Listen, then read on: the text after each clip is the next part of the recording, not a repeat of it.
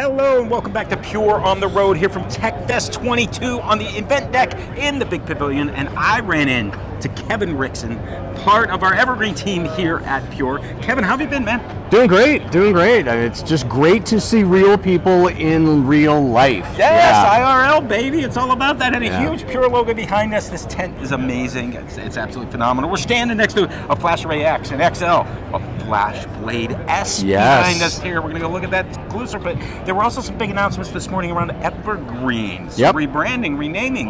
How can you summarize it? So I, the best way to summarize it is what Pure now has under the Evergreen family of subscriptions is the most choice in how customers want to uh, purchase and deploy and consume their storage, all under the Evergreen brand now. So we have um, Evergreen Forever, Evergreen which Forever? is what most people th- would think of as quote unquote evergreen. That's where you purchase it, and we keep it modern It's the for you. But come on, man. We learned this morning that Yeah. 96% of our arrays have been out there for six years, Yeah. some even longer. I mean, that Evergreen's real. This isn't marketing. It's real. It's based in technology, which is how we can do the other things that you're going to talk about. Exactly. So then that whole architecture lends itself to our uh, what we used to call Pure as a Service, which Yeah. is now called Evergreen One. Green one. So that is the complete SLA-based managed service that we uh, do all for you.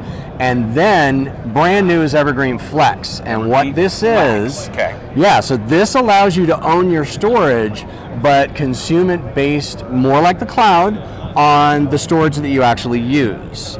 And so it for those customers that may have wanted to use something like Evergreen One in the past, but they need to own their storage for regulation or for their own accounting needs, you know, we now have something that that allows them to do that. And kicker, it's got some really neat features where you can move capacity around. It's kind of Uh, flexible. it's a it's a very flexible system and it's fleet wide, so it's really great at allowing you know customers that have a lot of data and a lot of uh, storage to manage it much more efficiently. I, I absolutely love it. It fits in. You got Evergreen Forever, Evergreen Flex, Evergreen One, all Evergreen. But most important, you know, this isn't a, a good, better, best. This is where every one of these products are perfect, and it's flexibility to allow you, our customers, to determine what's right for you from a consumption model. Yeah, where are you on your cloud journey? Where are you in terms of whatever your needs are? Not only do we have the architecture, and you mentioned FlashBlade S, you know, right there.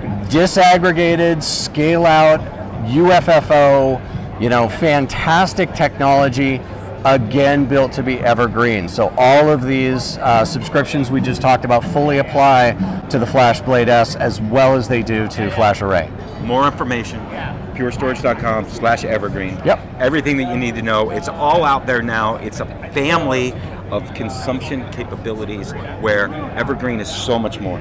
I like how you put that, a family of consumption capabilities. It is, and I'm- I just we might just steal that. Thanks, happened. You can take that. It, it all comes from this event tent. It's so inspiring. I see stilt walkers, by the way. I don't know. I, I just this, saw one going Yeah, by. yeah, yeah. This so- is going to be crazy. More from Tech Fest coming up.